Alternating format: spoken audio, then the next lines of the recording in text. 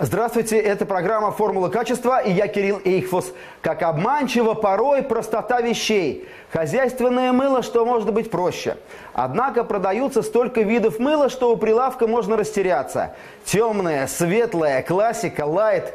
Хозяйственное мыло лайт звучит как-то необычно. Существуют разные рецепты приготовления этого простого мыла. Тут главное не запутаться в простоте.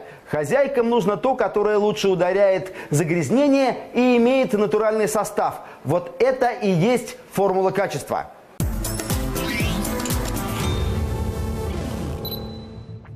Посмотрим на кусок хозяйственного мыла. Первое, что привлекает внимание, это загадочные цифры с процентами. На хозяйственное мыло ставят клеймо. Вот оно, пара цифр. Обычно это 65, 70 и 72 процента. Это означает количество жирных кислот в мыле. Чем эта цифра выше, тем мыло лучше мылится. Проведем эксперимент. Натрем на терке одинаковое количество мыла с большим процентом жирных кислот и с меньшим. Добавим одинаковое количество воды, энергично встряхнем и посмотрим на количество пены.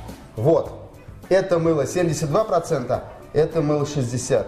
Конечно, здесь пены гораздо больше, смотрите. Да, разница есть. Это лучше. Жирные кислоты появляются в хозяйственном мыле, потому что его производят из натурального жира. С натуральным сырьем связан и его цвет. Все мы привыкли, что хозяйственное мыло, традиционное, старое, советское, имеет вот такой цвет. Сейчас оно кремового, приятного цвета. Почему? Дело в том, что раньше, возможно, использовали жировое сырье низкого качества, и поэтому мыло имеет вот такой вот темный цвет, возможно, резкий запах. Сейчас технологии немножко другие, используется уже более чистое сырье, и по цвету вы можете уже определить. Вы хотите сказать, сырье сейчас используется гораздо лучше? Для производства хозяйственного мыла в настоящее время используется более чистое сырье, более светлое сырье. Например, вот это вот хозяйственное мыло, оно выпущено в 2022 году на нашем предприятии, вот имеет вот такой вот цвет. Основное сырье для получения хозяйственного мыла – это говяжий, свиной, бараний и прочие виды натурального жира. В 1922 году хозяйственное мыло производили из отходов пищевого производства. В нем оставались различные примеси и даже грязь, поэтому оно более темное, чем современное, приготовленное из первичного сырья. А вот технология производства с 1922 года мало изменилась. Жир смешивают с едким натрием, затем к нему добавляют добавляют раствор поваренной соли и воду. Происходит химическая реакция, в результате которой и получается хозяйственное мыло. Хозяйственное мыло не добавляют красители, парфюмерные композиции. Поэтому хозяйственное мыло имеет вот такой вот запах. Он таким и должен быть. Ну да, фирменный запах хозяйственного мыла не спутаешь ни с чем. Так пахли советские детские сады и армейские казармы.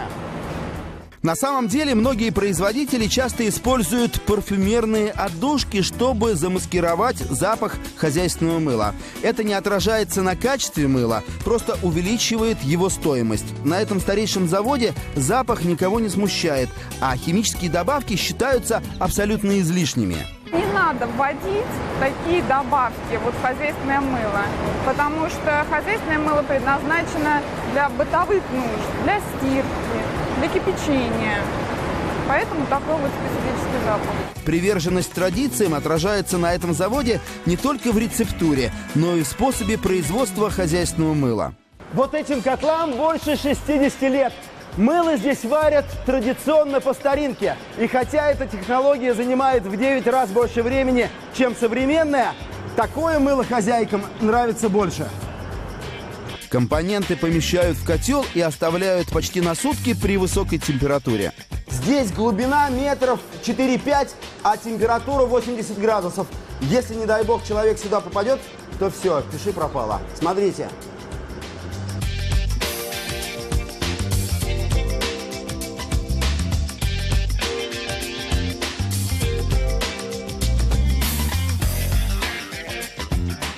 В результате появляется продукт, который имеет характерное отличие от любого другого моющего средства. Что это за особенности, спросил я у технолога. Дело в том, что в хозяйственном мыле содержится свободная щелочь и углекислая сода. И вот эта вот свободная щелочь, она а, несколько выше, чем в туалетном мыле. И углекислая сода, которая повышает моющее действие. И оно прекрасно отстирывает различные ткани. И мы его производим а, в очень больших объемах. И я думаю, что оно никогда не выйдет из употребления, поскольку оно и хранится долго и эффективно. Кстати, о сроках хранения. Те, кто использует хозяйственное мыло, часто могут видеть картину, когда твердый брусок при контакте с водой быстро превращается в раскисший кисель. Так происходит с мылом, которое получают путем нарезания на куски застывшей мыльной массы. Лучше хранится то, которое не режут, а формуют. Его легко отличить по внешнему виду. Первый признак качества мыла – это вот такой шовчик посередине. Это говорит о том, что мыло прессованное. А вот этот кусок мыла – он, ну как мороженое, как э, крем-брюле, которое достали из пачки, он резанный. Кроме того, гарантией качества, конечно, будет значок ГОСТа. Хозяйственное мыло выпускают в упаковке и без упаковки. Если мыло производят вот таким, то прямо на бруске указывается ГОСТ и наименование компании-производителя.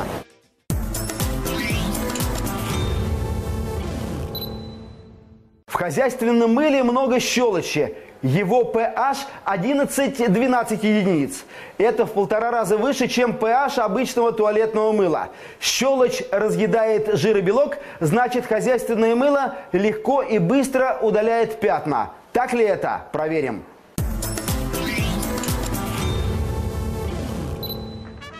В таких помывочных, как мне кажется, стирали наши бабушки вещи вот таким хозяйственным мылом. Да, что интересно, э, говорят, что отстирывает это мыло не только э, в горячей, но и в холодной воде. И я устрою сегодня нашим белоснежным салфеткам по-настоящему черный день. Я решил нанести на эти белоснежные салфетки всевозможные виды пятен, но разве что кроме э, зеленой травы. Зима у нас сейчас по расписанию. Так, а, Сначала курица.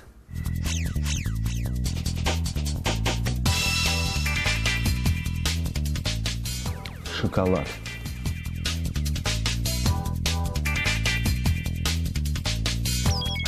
Чай и кофе.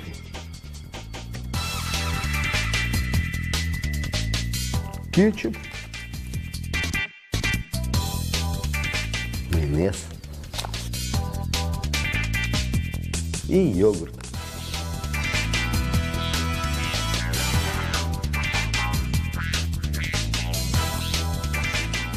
Эту салфетку я постираю хозяйственным мылом, а эту обычным стиральным порошком для ручной стирки. Посмотрим, кто выиграет.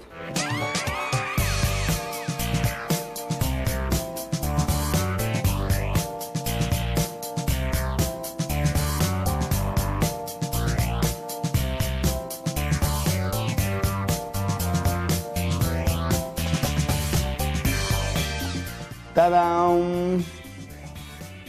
Хозяйственное мыло. Так, ну салфетка не идеально чистая. Вот я вижу, пятна остались от шоколада и от курицы. Хозяйственное мыло в холодной воде с пятнами от этих продуктов не справилось.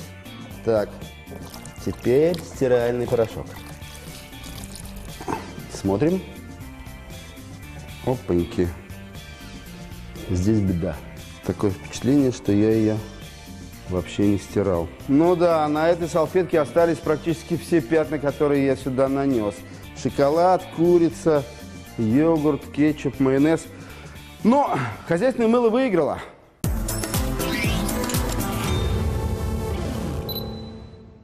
Хозяйственное мыло не подходит для деликатных тканей. Щелочь разъедает белок, а значит может повредить э, шелковую ткань или крепдышин. Лучше стирать им вещи из плотного хлопка, например, детскую одежду. Молоко, кефир и пюре нередко оказываются на одежде малыша. Как выбрать хозяйственное мыло и в чем его прелесть, я рассказал. С вами была программа «Формула качества». Я Кирилл Ихфус. Увидимся. Пока.